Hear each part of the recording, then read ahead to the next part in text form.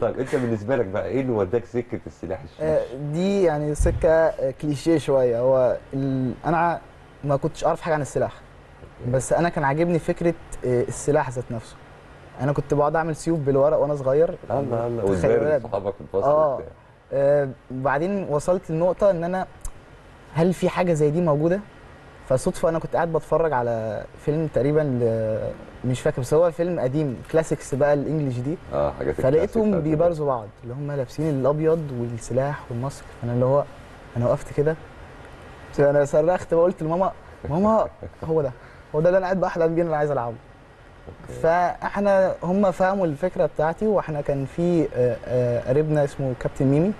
هو السلاح ثلاث حاجات فهو كان بيلعب بيمرن ايبي فاحنا رحنا له في نادي سلاح سكندري طب ابتدينا هم إيه. ثلاث حاجات بال- بالمرة عشان برضو نعرف الناس يعني الشيء بالشيء يوصل؟ ماشي هما ثلاث أنواع. آه، épée fleuret sabre.